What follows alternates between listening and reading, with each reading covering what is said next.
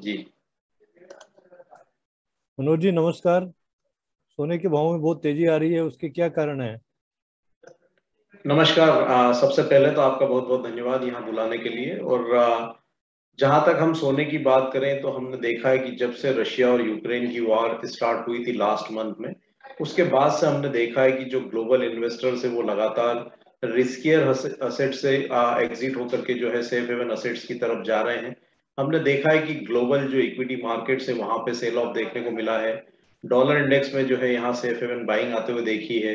जेपीआई को जो हम सेफ़ करेंसी मानते हैं, वहाँ पे भी हमने दूसरे करेंसी के अगेंस्ट में जो है, अच्छी बाइंग आते हुए देखी है। उसके अगेंस्ट में हमने देखा है कि यूरो और जीबीपी में जो है, तेज गिरावट देखने को मिली। और जितने भी जो सेफ़ हेवन जो मेटल्स है स्पेशली प्रीशियस मेटल्स वहाँ पे हमने बढ़त आते हुए देखी।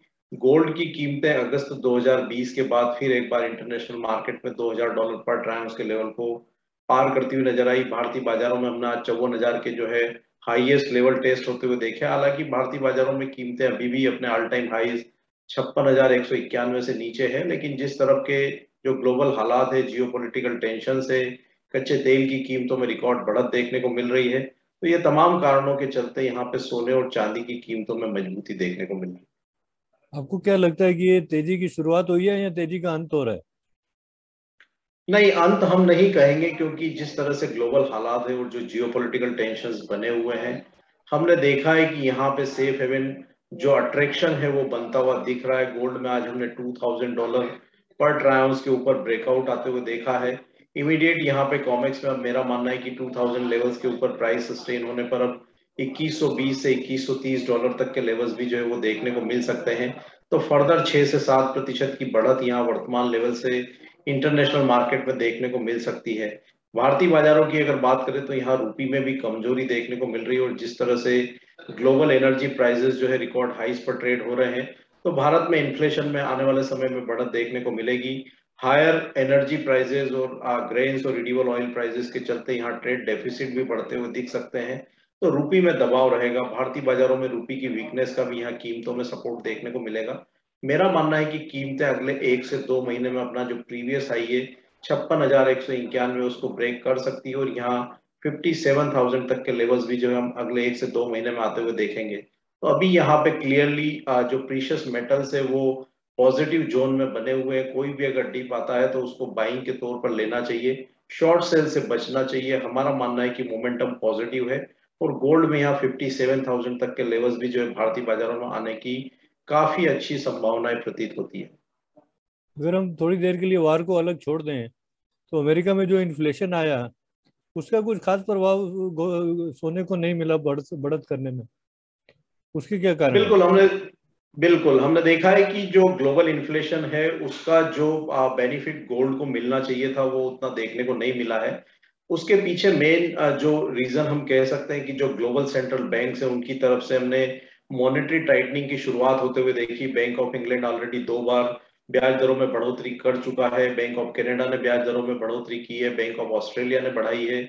यूएस फेडरल रिज़र्व की तरफ़ से हमने हॉकिश कमेंट्स जो है वॉर के पहले आते हुए देखे थे। हालाँकि जो last week Federal Reserve chairman Jerome Powell की तरफ़ से हमने थोड़ा सा सॉफ्ट जो है इंस्टेंस होते हुए देखा। बावजूद उसके जो मार्च का जो मीटिंग है, वहाँ हम 25 बेसिस पॉइंट की जो है बढ़त देख सकते हैं। दूसरा डॉलर इंडेक्स में यहाँ बढ़त देखने को मिल रही है।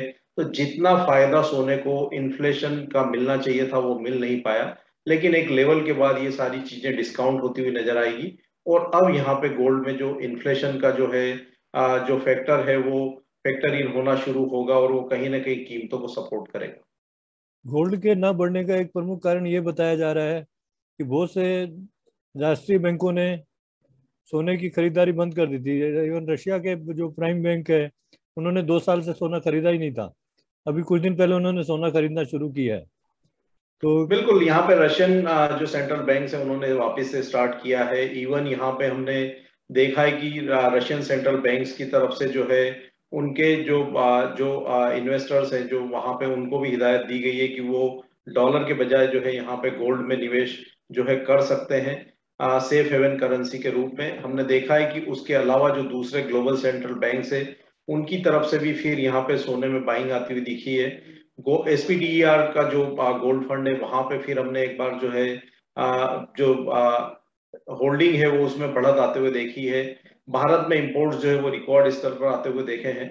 तो जो हमने यहाँ पे कोविड के दरमियान एक बार जो है सोने की जो बाइंग है वो कहीं ना कहीं साइडवेज होती हुई देखी थी उसमें फिर एक बार यहाँ पे रुझान जो है वो बनता हुआ दिख रहा है बाइंग का और वो भी आने वाले समय में यहाँ पे कीमतों के लिए सपोर्टिव रहेगा। भारत की पुरानी पीढ़ी इसमें इन्वेस्टमेंट के तौर पर विश्वास करती थी, थी कि ये कभी भी फ़ायदे का सौदा है लेकिन नई पीढ़ी को इसमें कोई लगाव नहीं है। बिल्कुल हमने देखा है कि जब से जो क्रिप्टो करेंसी का हम बात करें वो यहाँ पे आया है तो उसके बाद जो मिलेनियल्स है, उनका रुझान थोड़ा सा जो प्रीशियस मेटल्स की तरफ़ ना होकर के क्रिप्टो की तरफ़ हुआ है, लेकिन हमने देखा है कि जो वॉर का सिचुएशन निर्मित हुआ है, और क्रिप्टो एक ऐसा असेट क्लास है जहाँ पे कोई उसका रेगुलेटर नहीं है। अनसर्टन टाइम में वहाँ पे अनसर्टनिटी जो है वो और भी ज़्यादा हो जाती है।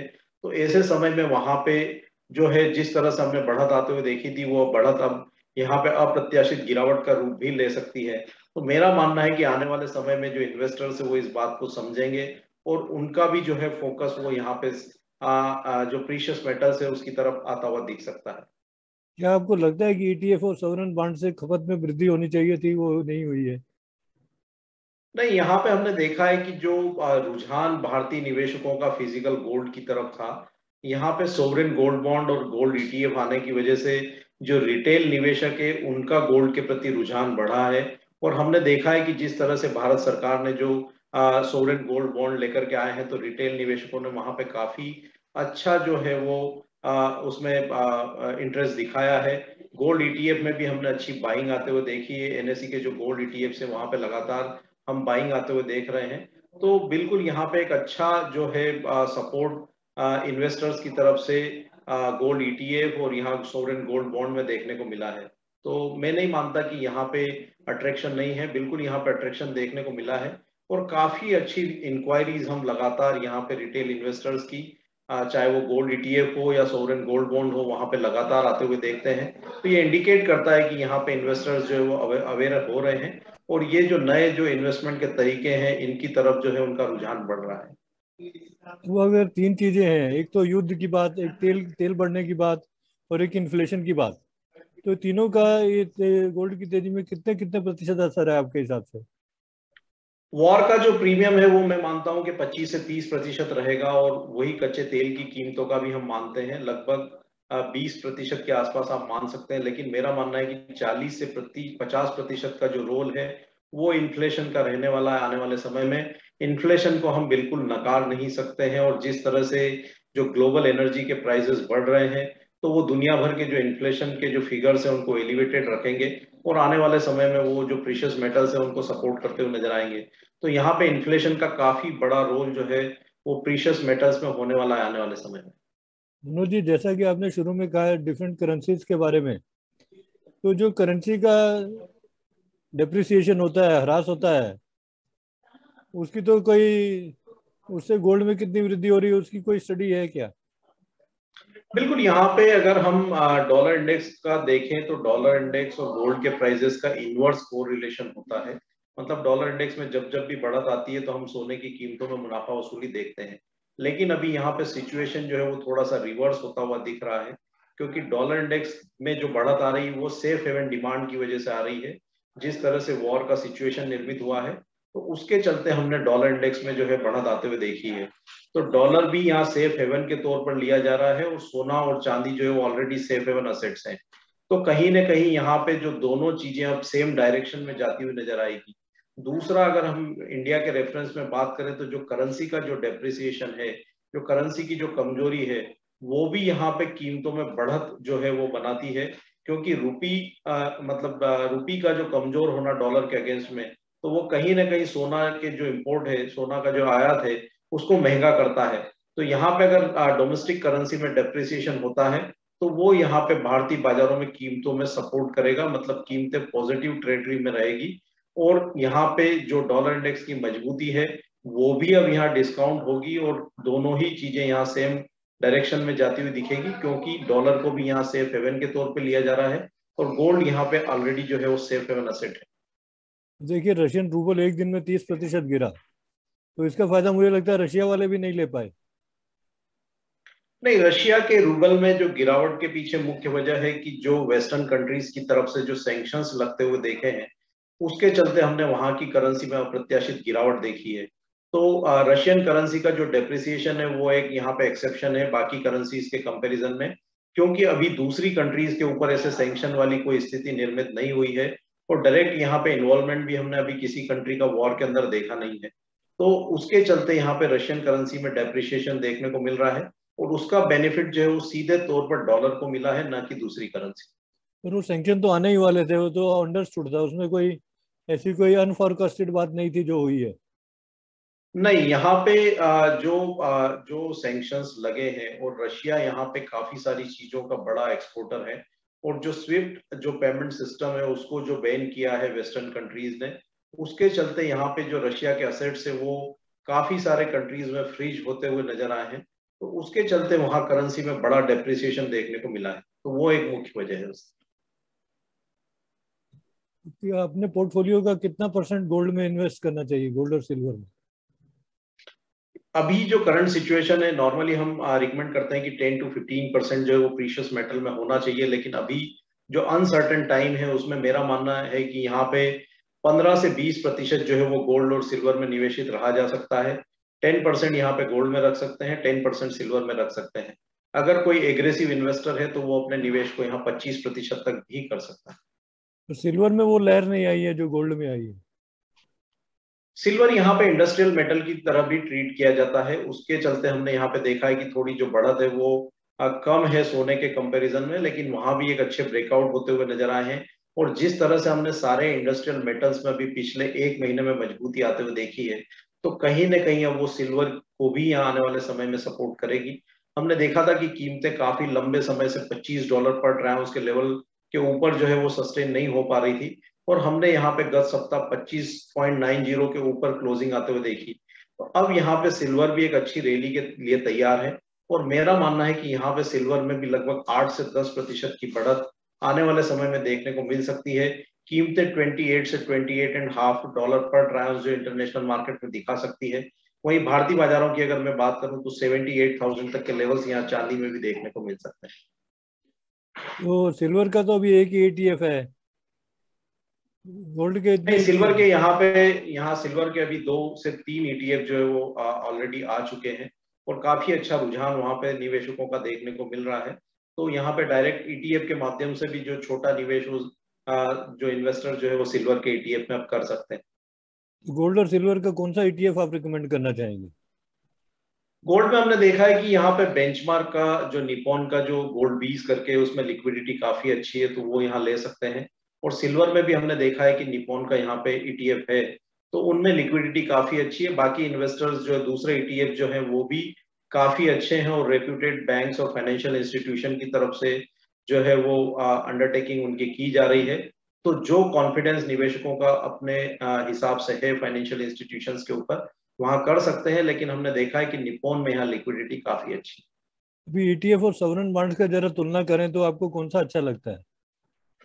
दोनों चीज़ें अपनी जगह अच्छी है। सॉवरन गोल्ड बॉन्ड में यहाँ पे आपको 2.5 परसेंट का एनुअल इंटरेस्ट मिलता है और भारत सरकार की वहाँ पे गारंटी है, लेकिन जो आपका होल्डिंग पीरियड है वो थोड़ा लंबा होता है। ईटीएफ e में हम यहाँ एक बहुत ही छोटी मात्रा में निवेश कर सकते हैं और वहाँ पे आपको एंट्री और एग्जिट आसान रहती है। मतलब आपको कभी भी लिक्विडिटी की ज़रूरत है तो आप तुरंत यहाँ पे मार्केट पे जो है उसको सेल कर सकते हैं। हालाँकि सोवरेन गोल्ड बॉन्ड भी लिस्टेड है, लेकिन वहाँ पे लिक्विडिटी का थोड़ा इशू रहता है। तो उस लिहाज से जो शॉर्ट टर्म के निवेशक हैं, उनको यहाँ पे ईटीएफ में निवेश कर सकते हैं। लेकिन जो लंबी अवधि के निवेशक हैं, मेरा मानना है कि उनके लिए सोवरेन गोल्ड बॉन्ड काफ़ी अच्छा विकल्प है। भारत सरकार की गारंटी के साथ यहाँ ढाई प्रतिशत का एनुअल इंटरेस्ट है। दूसरा, यहाँ पे आपको मेच्योरिटी पे जो लॉन्ग टर्म कैपिटल गेन है, वो नहीं लगने वाला है। तो जो लंबी अवधि के निवेशक है, वो बिल्कुल यहाँ पे सोवरेन गोल्ड बॉन्ड में जा सकते हैं। सोवरेन बॉन्ड्स को पर गिरवी की तरह रखा जा सकता है क्या? बिल्कुल यहाँ पे काफ़ी सारे बैंक जो है वो उसको एक्सेप्ट करते हैं और इवन जो इक्विटी मार्केट में भी हम ट्रेड करते हैं तो वहाँ पे भी जो है उसको जो है हम प्लेज कर सकते हैं तो वो वहाँ पे फैसिलिटी उसमें बिल्कुल मिलती है। और आप संक्षेप में क्या कहना चाहेंगे? संक्षेप में अभी मेरा यही कहना है कि जो वॉर का काफ़ी अनसर्टन सिचुएशन है और हम काफ़ी बड़ी वॉलेटिलिटी जो है मार्केट में देख रहे हैं ऐसे बाजारों में यहाँ पे बहुत ही सावधानी के साथ ट्रेड करना चाहिए। कोई भी ट्रेड बिना स्टॉप लॉस के ना करें और कोशिश करें कि जो भी इंटरनेशनल कमोडिटीज है उसमें शॉर्ट सेलिंग से बचे। अगर कोई शॉर्ट सेल किया भी है तो स्ट्रिक्ट स्टॉप लॉस को फॉलो करें।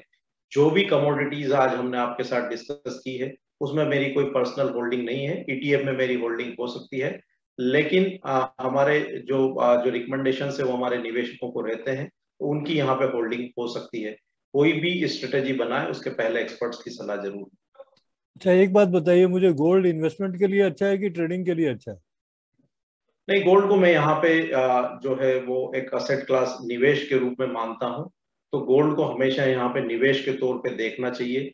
इन्फ्लेशन यहाँ पे हमेशा रहने वाला है। जब तक इन्फ्लेशन रहेगा आपकी करेंसी डेप्रिशिएट होगी।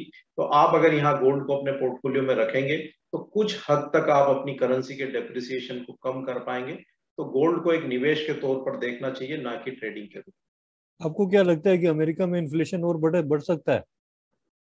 बिल्कुल बढ़ेगा। अगर यहाँ पे जो कच्चे तेल की कीमतें हैं अगर वो एलिवेटेड रहती है हमने देखा है कि 100 डॉलर पर बैरल के ऊपर कीमतें निकल चुकी है। अभी रशियन ऑयल और गैस के ऊपर सैंक्शंस नहीं है। अगर वो सैंक्शंस आते हैं तो वहाँ पे 150 डॉलर के ऊपर भी कीमतें जो है जो ग्लोबल जो बैंक्स हैं जो फाइनेंशियल इंस्टीट्यूशन है उनके प्रोजेक्शन निकल कर आ रहे हैं।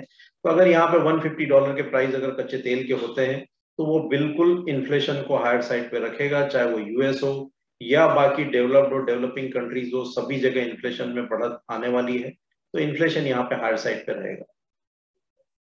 मनोज जी जानकारी देने के लिए बहुत बहुत धन्यवाद। हम दूसरी कम्युनिटीज की भी आपसे चर्चा करेंगे। बिल्कुल। Thank you sir